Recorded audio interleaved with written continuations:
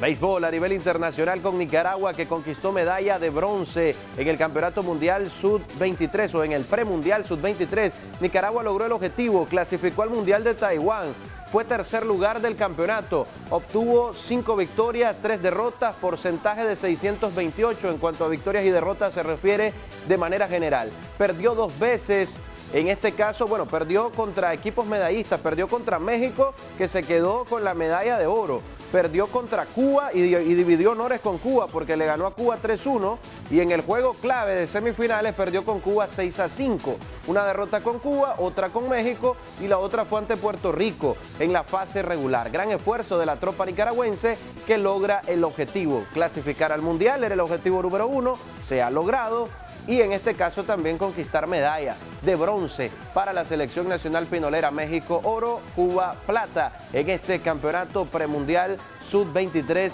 en México. Gran trabajo de la tropa pinolera, recordar aquella joya monticular contra Venezuela a quien se le ganó dos veces porque Nicaragua le gana a Venezuela en este juego por la medalla de bronce, cuatro carreras por tres y en el juego anterior de la fase regular para lograr el boleto al Mundial le había ganado también a Venezuela una carrera por cero con una joya monticular espectacular de Milton Quintana de siete episodios, dos hits, cero carreras y en este caso la tropa pinolera logró imponerse nuevamente ante Venezuela, 4 por 3, 8 hits para la tropa pinolera, 4 hits para Venezuela que cometió tres errores a la defensiva, Kevin Solís el ganador, José Guzmán el derrotado, Álvaro Amador que sacó el último out, se apuntó juego salvado. En este partido por parte de la tropa nicaragüense que de esta manera conquista la medalla de bronce en este premundial allá en México, en Aguascalientes. Gran trabajo de la tropa pinolera. Recordar que hace par de años el premundial se había realizado en Nicaragua,